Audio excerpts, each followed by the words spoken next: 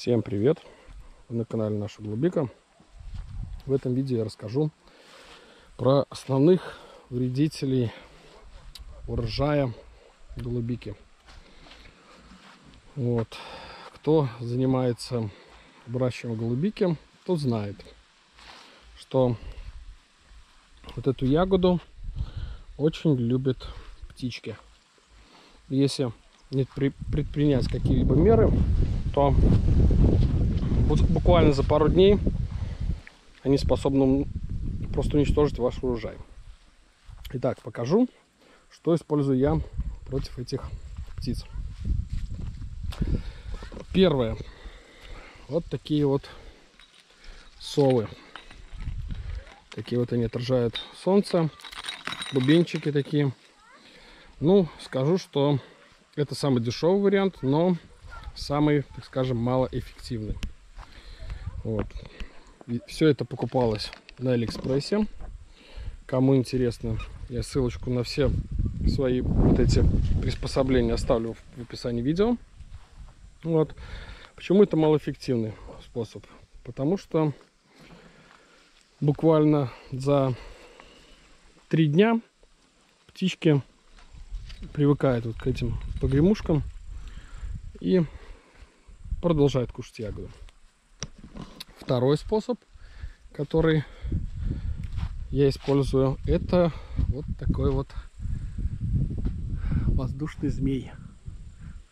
то, чтобы солнце не светило. Вот смотрите, вот такой вот воздушный змей. В принципе, очень эффективно помогает а, в борьбе с птицей. Вот, тоже приобретался Китае. Ну, цена приемлемая. Вот. Хорошо отпугивает птиц. Они не очень быстро к нему привыкают. Вот, вещь хорошая, рекомендую, честно говоря. Но есть тоже вот этой вещи один большой минус. Когда штиль, вот видите, сейчас ветер перестал дуть, и птичка наша вот такая вот мертвая стала. Вот, когда штиль, то птички особо его не боятся. Но вот когда вот такая вот ветреная погода, он так вот летает, имитирует полет птицы хищный. Довольно таки хорошо работает. Поставила, получается, тут бочка стоит, метр где-то два с половиной, еще плюс удочку привязал, пятиметровую. Ну вот на такой вот высоте летает, в принципе, хорошо защищает. Вот. И третий вариант, вообще самый эффективный, честно говоря, первый вот этот в первом году попробовал, просто бомба. Вот видите, вот такой вот лазер. Вот. Так скажем, используем современные технологии в борьбе с птицами. Вот такой вот лазер. Также покупался в Китае. Цена как бы ну, э, приемлемая, скажем, поскольку позволяет защитить урожай, сохранить его.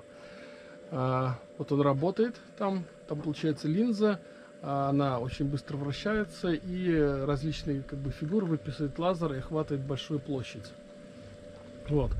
Днем тут особо э, лазера не видно, только в пасмурную погоду камера тут сильно не передает, но э, смысл его следующем, что, как заявлял производитель, что не обязательно, чтобы был виден этот лазер. Вот. А птица, которая подлетает, этот лазер, получается, засвечивает, попадает ей в глаза, вот, и она пугается. Вот, и, получается, какую-то, наверное, своим сородичам дает команду, что опасность, и они благополучно разлетаются. Ну вот в этом году я, получается, его задействовал.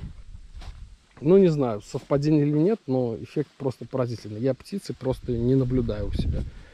Не знаю, ну, может, там пару ягод они каких-то украли, но работает он изумительно. И, так понимаю, площадь он покрывает очень большую. Поэтому вот такой вот у нас опыт в этом году использования. Вот, кому было интересно, ставьте лайки. Пишите комментарии, подписывайтесь на мой канал. Всем пока!